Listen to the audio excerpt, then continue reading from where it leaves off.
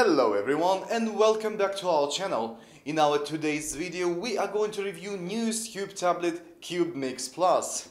Tablet equipped with powerful dual-core Intel Kaby Lake M37Y30 1.61 GHz processor, Intel HD Graphics 615 GPU, 4GB of RAM and 128GB of SSD-ROM.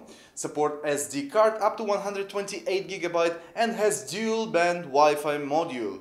With that combination of specs, this tablet can easily be called as a gaming device. Moreover, pressure sensitivity and full compatibility with Wacom styluses making it perfect instrument for artists.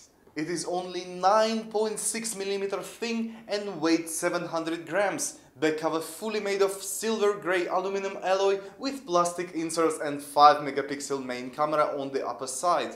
On the left located 3.5mm mini jack for headphones, a slot for SD card, USB Type-C port version 3.1, micro USB port 3.0 and DC port for charging tablet bundle with OTG cable so you can also connect hard drive or mouse to it. On the top there are microphone, power and volume key buttons.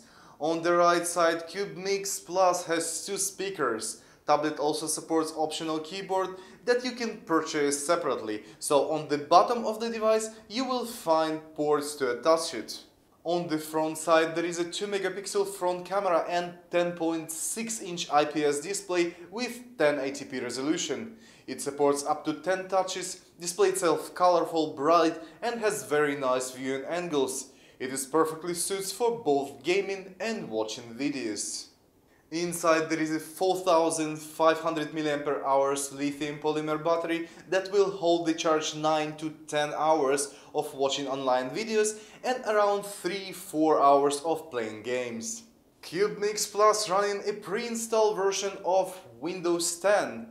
3D Mark Sky Diver test given to Cube Mix Plus score 2907 and Crystal Mark test showing very fast, especially for a tablet reading and writing speed of SSD storage.